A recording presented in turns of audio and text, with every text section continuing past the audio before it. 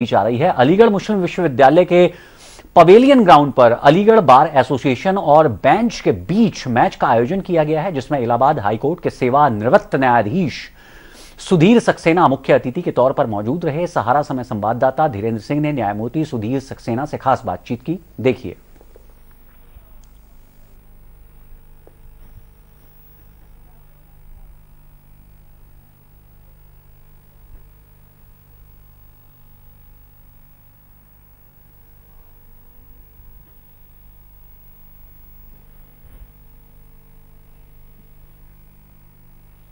आज अलीगढ़ के AMU pavilion ground पर यहाँ पे बार और बेंच के बीच में मैत्री, एक मैच हो रहा क्रिकेट मैच हो रहा है जिसके चीफ गेस्ट न्यायमूर्ति रिटायर्ड सुधीर सक्सेना जी के द्वारा इस मैच का जो कहीं न कहीं किया गया, उद्घाटन किया गया है।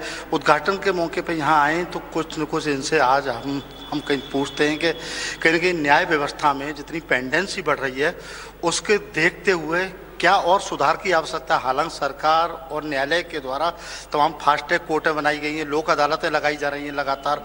तो क्या और अभी होना चाहिए जिससे लोगों को जल्दी और, कहीं ना कहीं आसान न्याय मिल सके? तो हमारे साथ मौजूद हैं। आप ही से बात सर ये बताइए आप तो पुराने हैं और सर कहीं ना कहीं लोगों को न्याय मिलने में सर काफ़ी देरी हो जाती है। हालाँकि सर तमाम सर लोक अदालतें भी लगती रहती हैं फास्ट कोर्टें भी बनाई गई हैं। सर कहाँ कमी अभी रह रही है जिससे और सुधार की आवश्यकता है? देखिए मेरा ख्याल है कि पहले हम लोग मैच की बात कर लें। जी जी। मैं अलीगढ़ में 2010 में जिला जज था और मैंने मैच यहाँ शुरू कराया था मैं कैप्टन था। मेरा मानना यह है कि न्याय का कार्य बड़ा तनावपूर्ण कार्य है। इसमें सुबह शाम तक आप साठ सत्तर लोगों की समस्याएँ सुनते हैं तो मन उसी में उलझ जाता है। फिर आपको रास्ता निकालना होता है कि कैसे हम उसे न्याय की न्याय तक पहुँचाएँ। तो ऐसे में खेल कूद एक ऐसा उन्हें वोकेशन मिलता है जहाँ बैठ के वो अपने तनाव को दूर कर सकते हैं और ज़्यादा अच्छे तरीके से न्याय कर सकते हैं। दुर्भाग्य से हम लोग क्या न्यायाधीशों की कमी है। इसीलिए एक प्रयास किया गया कि अलग ट्रिब्यूनल बनाया जाए।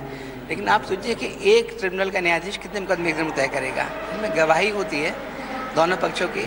तो ऐसे में सबसे अच्छा तरीका यही है कि अगर पहली जैसे सुप्रीम कोर्ट ने कहा था कि पहली तारीख कोई अगर सूचना मिल जाए न्यायालय को कि यहाँ एक्सीडेंट हुआ है, ये व्हीकल ओनर है, ये इंश्योर्ड है तो मुकदमे जल्दी हो सकते हैं। बीमा कंपनियों से मैं अनुरोध करूँगा कि वो लोग आगे आएँ, अपना हट छोड़ें। कहीं ना कहीं उन्हें लगता है कि ऊपर उनके हेड क्वार्टर में क्या कहा जाएगा। उसे छोड़ के बाहर आएँ, समझौते करें। संभवतः परिस्थिति में कुछ कम राशि पर ही पार्टीज़ तैयार हो जाएँगे। क्योंकि संख्या तो अगर हम यहाँ बढ़ाएँगे संख्या तो फैमिली कोर्ट में कम हो जाएगी और मुकदमे उतने ही महत्वपूर्ण है। जैसे आपराधिक मुकदमे उतने महत्वपूर्ण है। दीवानी मुकदमे की सुनवाई होती नहीं। दीवानी में आदमी न्याय शुल्क दे के आता है। उसी न्याय शुल्क से सबका खर्च चलता है। उसी की सुनवाई नहीं होती है। तो ऐसा नहीं होता कि यहाँ हटा के वहाँ कर दें। इसलिए रास्ता ये है कि इसे भी हमें समझौते रास्ते से, उसमें बीमा कंपनी का रोल बहुत ज़्यादा है। बीमा कंपनी को आगे आना चाहिए। और कोशिश करनी चाहिए कि पहली तिथि बड़ी जैसे कि और केस में लाइफ इंश्योरेंस है, और जगह पेमेंट होता है। यहाँ पता है एफआईआर हो गई है और आपके सामने आपकी गाड़ी इंश्योर्ड है ड्राइवर भी सही है। तो फिर मुकदमा क्यों लड़ते हैं? पहले डेट दीजिए पहली डेट को। कोरोना कोरोना काल दो साल तो तो कहेंगे हमारे साथ जो है न्यायमूर्ति सुधीर सक्सेना जी थे सेवानिवृत्त इनके द्वारा साफ़ तौर पर कहा गया है कि कहीं कि बीमा कंपनियों का एक बहुत बड़ा रोल होता है।